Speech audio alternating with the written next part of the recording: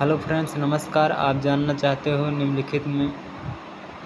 Hello friends नमस्कार, आप जानना चाहते हो निम्नलिखित में कौन राज्यपाल को उसके कार्यालय से हटा सकता है?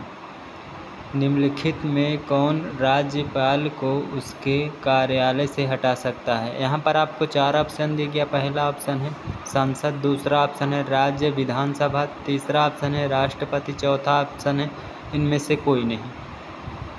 तो इस क्वेश्चन का सही आंसर हो जाएगा। निम्नलिखित में कौन राज्यपाल को उसके कार्यालय से हटा सकता है?